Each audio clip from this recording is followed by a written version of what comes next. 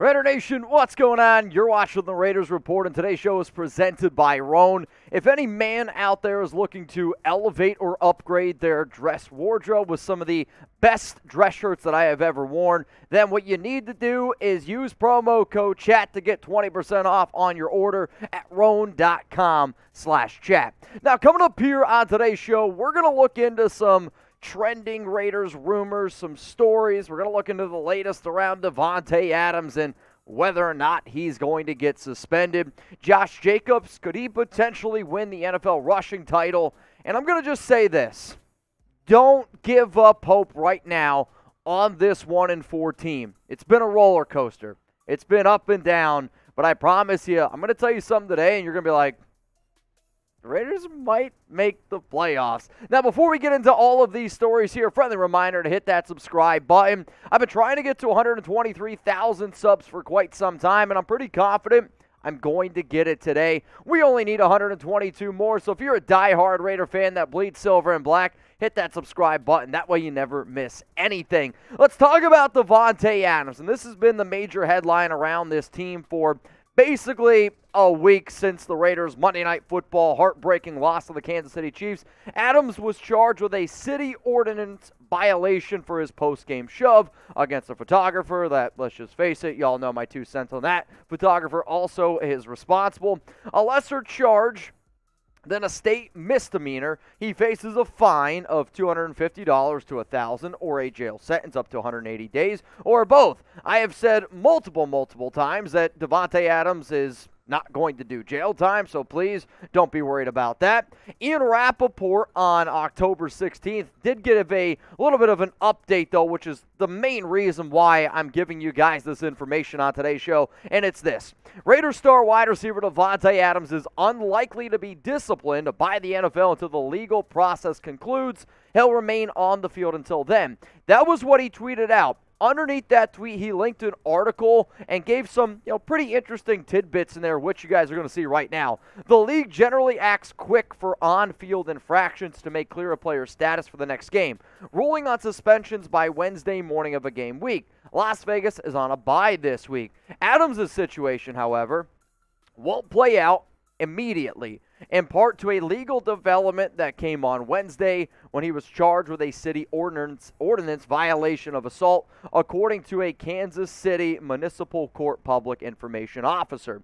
Because Adams was criminally charged, his case is now considered a potential personal conduct policy violation, which warrants a league investigation. However, if the case is resolved in any way, legal charges are dropped, Adams pleads guilty, or any other outcome that concludes the situation, a resolution would come quicker, sources informed of the situation say. Now, if you're wondering, all right, where, when are we going to find out, or when can we stop talking about this? It's probably not going to happen until the preliminary court date. So if you want, circle this date right now on your calendar, November 10th this year. The court date is scheduled to be at 2:30 p.m. Eastern Time, so 11:30 p.m.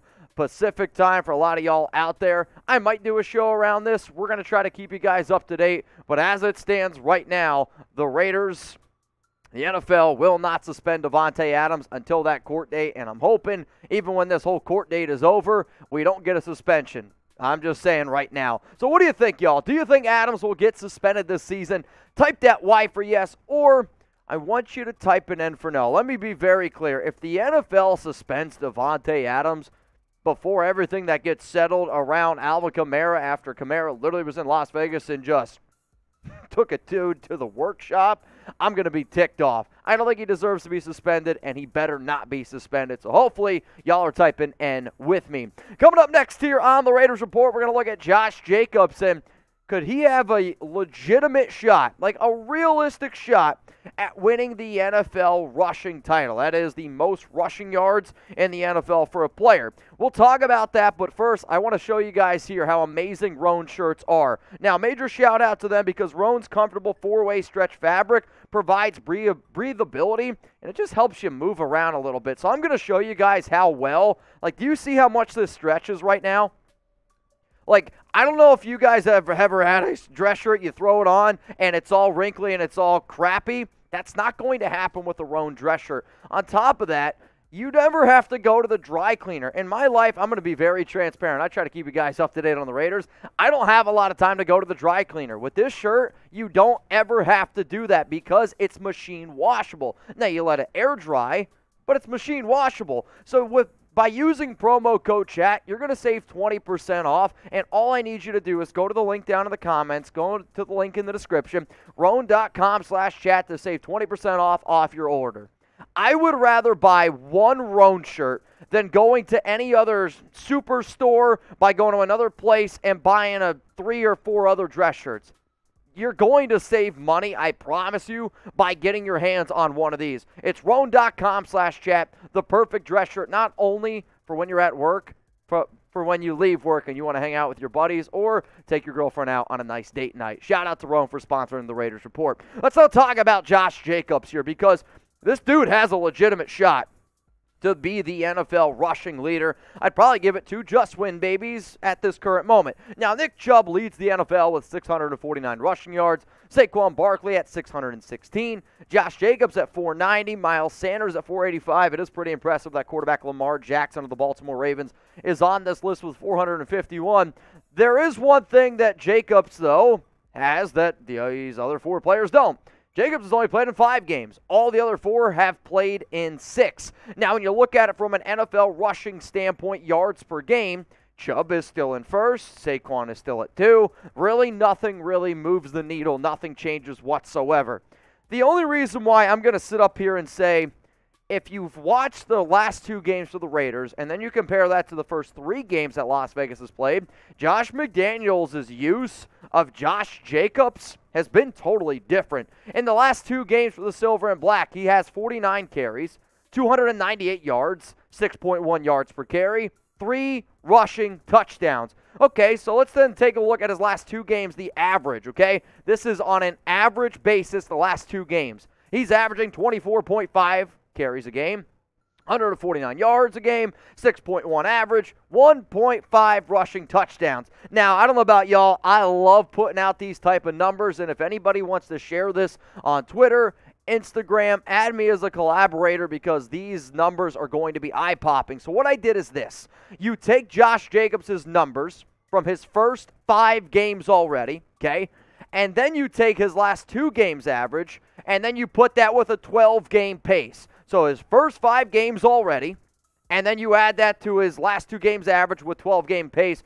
That puts Josh Jacobs at 385 carries, 2,278 yards, 21 touchdowns. I'm going to be very blank. I'm going to stare at you guys in the eyes right now and just say this Jacobs is not going to put up that type of numbers. I mean, it, it would be insane. It could be regarded as the best rushing season of all time.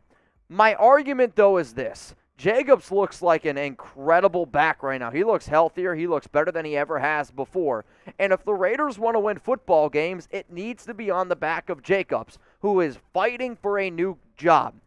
He is fighting for a career. He's fighting for a contract. So, my question to all of you is this I don't anticipate 2,278 yards, but 1,600, 1,700 rushing yards for Jacobs? That's not out of the realm of possibility, especially if he stays healthy. So look into your crystal balls right now and guess how many rushing yards for number 28 for the Silver and Black this upcoming season. Next thing here on the Raiders report by Chat Sports. Shout out to Jeremy Chugs pushing all the buttons down there. Give Chugs some shout outs in the comments. Raiders playoff chances. I talked about it last week because I saw the New York Times, they gave them a 17% chance. I saw ESPN gives the Raiders a 32 percent chance of making the playoffs. And I'll give you some of these extra analytics, but what I wanted to do here is simply roll through the AFC playoff standings as it stands right now.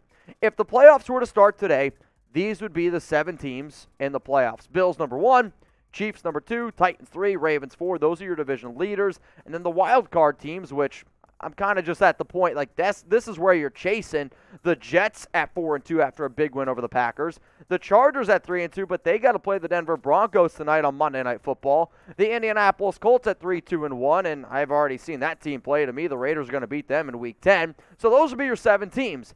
Now let's look at the teams essentially in the hunt because realistically, I think almost every single one of these teams could be in the hunt. Broncos at 11 there at 2 and 3. They play on Monday Night Football, and as much as it pains me to say it, it honestly probably helps the Raiders out if the Broncos beat the Chargers because the Raiders, that one win that they have, is against Denver. Now, the other good news here for the Raiders is this they play a lot of the teams that they're going to be matching up against here in these AFC playoff standings. So when you look at their final schedule, what were you going to see now on screen is essentially every single Raiders game and the percentage that ESPN has given the silver and black to win that game. So here we go. Week seven at home against the Texans. ESPN says you got an 81.2% chance to win that game. All right, cool. Week eight, Saints. That's on the road, but hey, you are still the favorite on that one at 54.8.